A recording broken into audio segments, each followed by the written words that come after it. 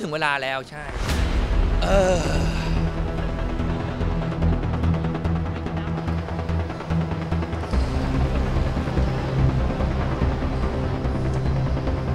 ไปวันนี้จบดีกว่าขอขอบคุณทุกคนครับ คือตอนเนี้ยผมค่อนข้างเครียดนิดนึงเพราะว่ามันเป็นเป็นการบวชที่ไม่ได้วางแผนเอาไว้ มันปรับปรับพอสมควร แล้วผมมันรับงานเอาไว้แน่นมากช่วงเนี้ย บางงานผมก็ต้องแบบขอยกเลิกเขานะจนแบบผมต้องมีวันที่ผมไปวัดด้วยอย่างเงี้ยครับ แม่ก็ดีใจแค่ตั้งใจอยากบวชแม่ก็ได้บุญแล้ว ถึงเวลาแล้วใช่ใช่เออ